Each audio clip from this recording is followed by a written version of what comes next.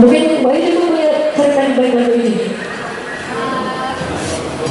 lagu ini kita buat untuk menyemangati semua uh, Indonesia supaya terus berpikir positif, terus terus berpikir maju gitu.